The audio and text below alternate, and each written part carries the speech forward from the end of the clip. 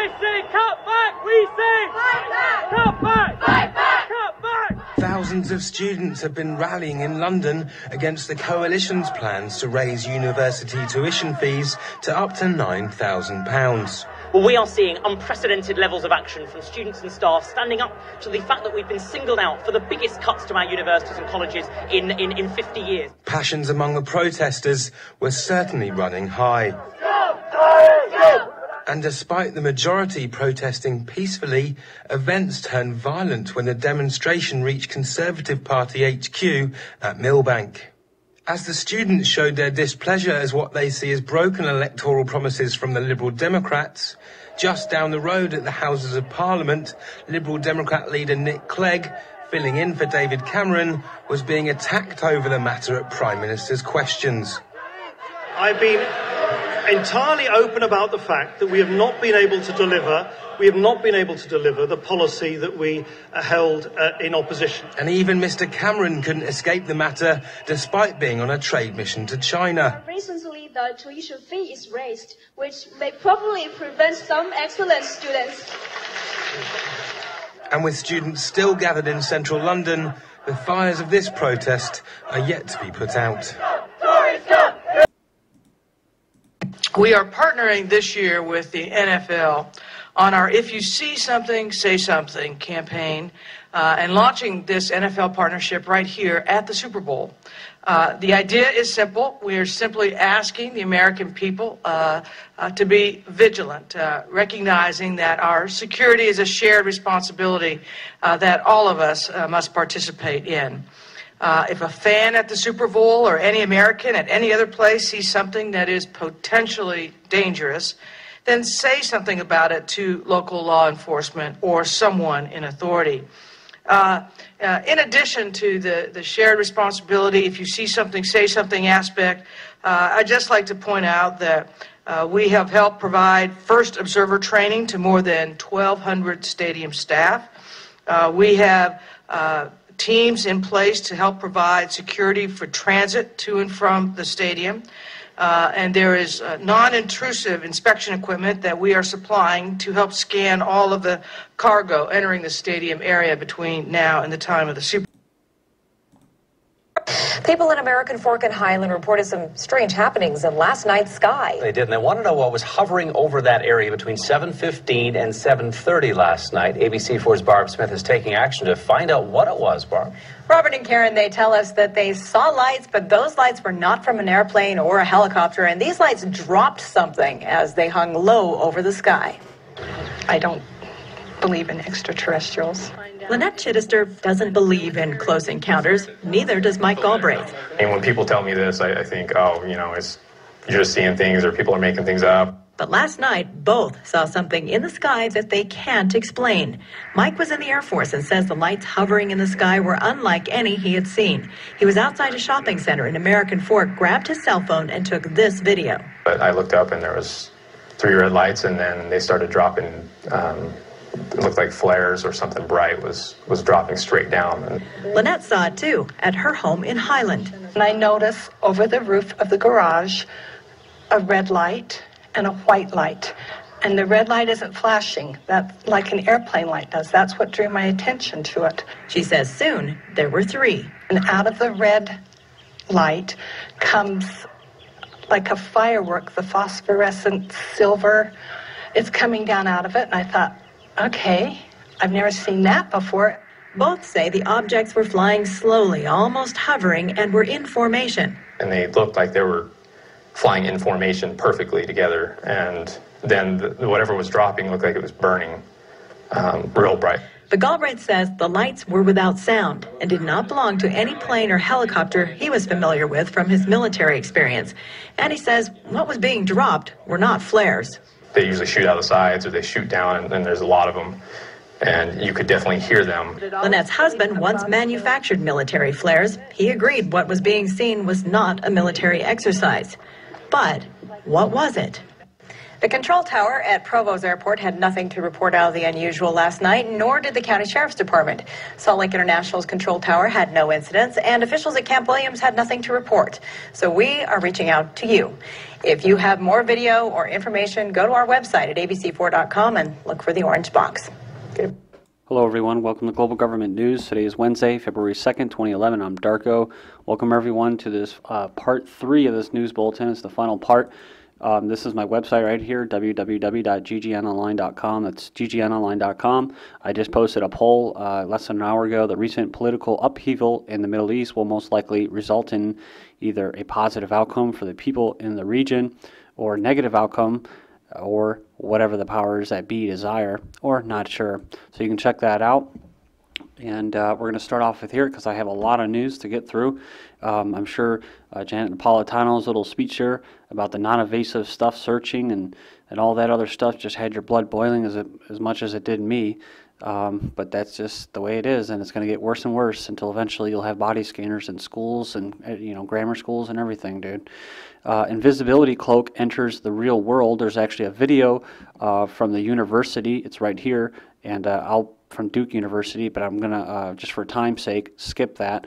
Uh, you can check out the links will be posted. Scientists are a step closer to creating a Star Trek style cloaking device after making an object uh, visible to the naked eye uh, disappear for the first time.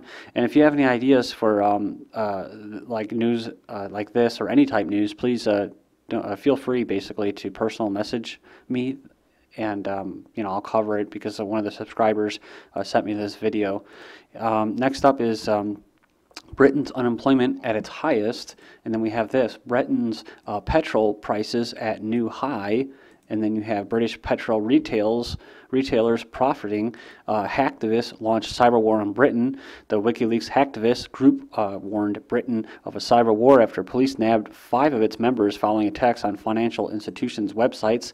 Chants of revolution echo in Britain. Thousands of protesters pour in the streets in London and Manchester again to shout their anger at the government's policies, with some clashing with police. Uh, fee protests spell anarchy for Britain. Britain's capital, London, and the city of Manchester were hit by uh, anarchy and chaos Saturday as thousands of students took to the streets in anti fee uh, tuition protests. UK uh, Uncut faces political pol- uh, policing. Police officers used tear gas on UK Uncut protesters on Sunday and apparently unprovoked attacks, questioning the force's tolerance for democratic rights of British citizens. That guy got pepper sprayed bad, man, or tear gas, whatever. Um, Manchester Airport introduces hologram staff. You should check this out. There's actually a video. Um, the links will be posted. Manchester Airport has introduced futuristic holograms of customer service staff to inform passengers of travel restrictions. Now, it's basically to tell the slaves that they're slaves and to get used to it. Hologram security agents debut at Luton Airport. Again, um, I've talked about this before. It's all about um, what? Excluding the human element out of everything, out of the big brother state, the police state, killing people like in Afghanistan and Pakistan. Let the drones do it. Um, eventually, they'll have uh, like Terminators.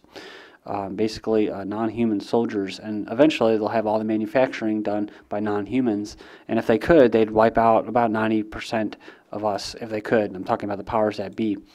Um, Grisly Bunny cartoon attacking China's communist rulers proves to be online hit. Uh, link will be posted. You can check out that video. Uh, New York City Sting spotlights ease of buying guns at shows. Undercover Sting at the Phoenix uh, gun show uh, found dealers sold weapons like the one used in Tucson shooting rampage to questionable buyers without conducting background checks. New York uh, Mayor Michael Bloomberg said on Monday. Then we have this Utah plan to adopt official gun condemned by anti firearm groups. Their, their official emblem, uh, state honor of John Browning, the Utah gunmaker who invented it. And then we have uh, this soldiers on battlefield turn apps into arms. Soldiers armed with smartphones are finding new ways to fight and sub- subsequently uh, redefine the battlefield. They can share intelligence and translate languages with mounts basically to the common cell phone. Um, and then we have this uh, ACLU airport violates First Amendment right. TSA testing out less invasive body scanners. Good news for those uncomfortable with airport security, getting to know us so intimately, right? So fun. It's a big joke. Uh, West Bank mourners clash with Israeli troops. Israeli forces have attacked the funeral ceremony of Palestinian teenager uh, shot dead by Israeli settlers in West Bank City. And then we have private data not safe online, says consumers. The Information Commissioner's Office has issued new guidelines to consumers on staying safe online as a new survey reveals widespread fears among consumers.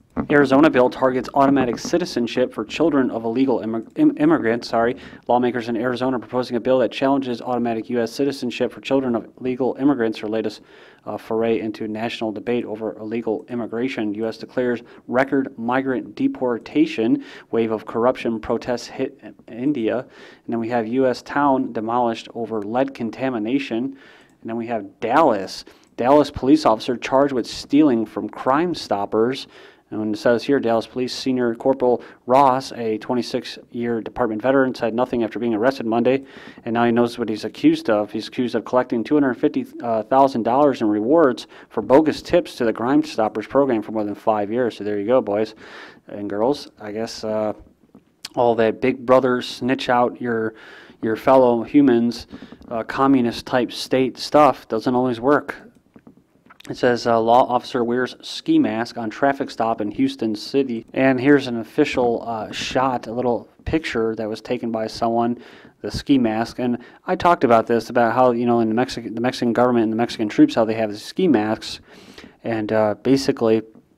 My prediction was that eventually you'd see police officers in the United States wearing these ski masks, basically because they're so corrupt and what they're doing so immoral and illegal uh, that they couldn't even show their pathetic. And lo and behold, I have lived to see that day already. Dallas teen fined $637 for foul mouth. Suburban Dallas teenager had to uh, take on a waitressing job to pay $637 after being ticketed for using bad language in a high school classroom. So that's exactly what it's going to get. Eventually, you're going to have big mega complexes uh, that you basically go to five days a week, and then you get visitation rights, and you get to go home and see your parents like a little prisoner. Um, City Council readies new smoking ban. Uh, basically, New York City wants to ban smoking in beaches, parks, marinas, boardwalks, plazas, everywhere else, so you can't smoke outside or inside anymore. And eventually, you're hearing it from me, Darko, they will eventually, uh, the federal government will ban smoking altogether. They will make it a controlled substance. Georgia Republicans' bill would do away with driver's licenses uh, due to uh, privacy issues. Bill would require all South Dakota citizens to buy a gun, anyone that's 21 and older, uh, sufficient to provide for their ordinary self defense. So that's good news although you shouldn't have to legislate a right like that. Uh, better in than out, African countries set to make breaking wind a crime. CIA views China's student informant system. The Chinese Communist Party employs a growing network of student informants who monitor political expression on university campuses. Oh, that sounds nice. And students for politically subversive or uh, unconventional views, according to a recent report from the Central Intelligence Agency. All right, we have Russia warns Ireland over diplomats' expulsion. U.S. airstrike kills civilians in Afghanistan. Just another day for the Afghans. Iraq violence kills 259 in January. U.S. aims to uh, prolong stay in Iraq. A Yemeni president pledges not to seek another term. ISAF drone goes down in Afghanistan and Egypt. Uh, Mubarak is basically going to step down. Uh, his backers attack anti government protesters, and Mr. Uh, CIA Anderson Cooper attacked, punched in the head by pro Mubarak mob in Egypt. Uh, Mubarak's new deputy linked to CIA rendition program. Kissinger praises Obama's handling of Egypt, gives Mubarak months at most.